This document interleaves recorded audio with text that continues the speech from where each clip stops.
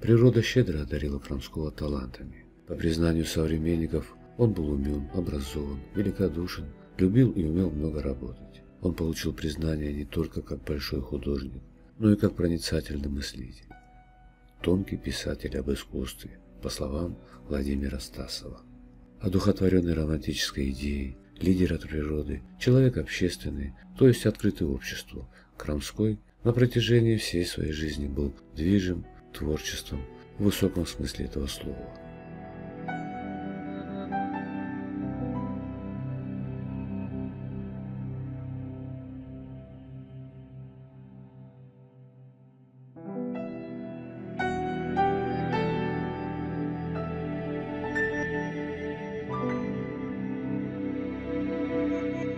Его мечты о коллективных усилиях в деле развития искусства, о творческом содружестве и взаимной нравственной поддержке нашли воплощение в деле создания товарищества передвижных художественных выставок. 1870-е годы, период жизни Крамского, связаны с организационной деятельностью. Большую часть времени и сил он бескорыстно отдавал служению общему для товарищества делу, оставаясь в течение жизни непререкаемым авторитетом совестью и мозгом передвижников. Письма этого времени проникнуты неутомимой энергией лидера. Вместе с тем в этих же письмах живет и мой Крамской. Я из породы тихоструйных, писал он о себе.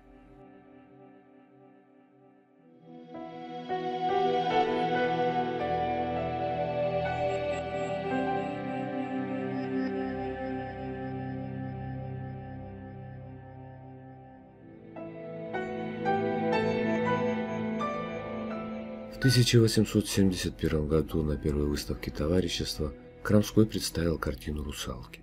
Она сразу выделилась из череды жанровых полотен. Так уж пелись нам все эти серые мужички, неуклюжие деревенские бабы, испятые чиновники, признавались критики. Крамской переосмыслил традиционное представление о бытовом жанре. Рядом с изображением правды жизни в искусстве равное право имеет и поэтический вымысел являющий еще одну важную грань человеческого бытия. Потому картина Крамского заняла особое место в истории русского искусства второй половины XIX века.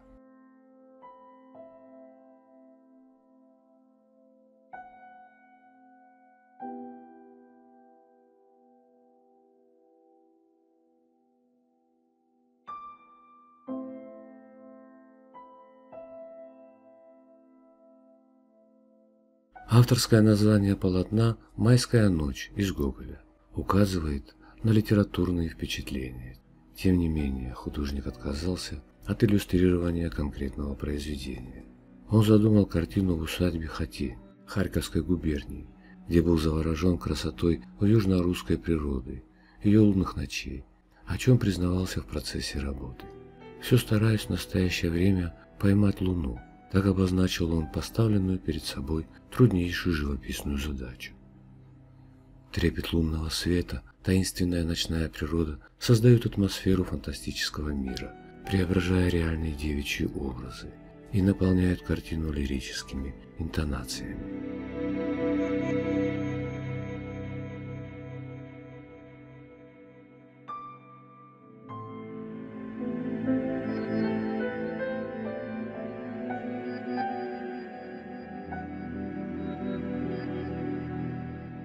В современном представлении передвижничество связано с развитием бытового критически мыслящего жанра, который актуализировал наиболее животрепещущие вопросы дня через обращение к новым сюжетам и темам.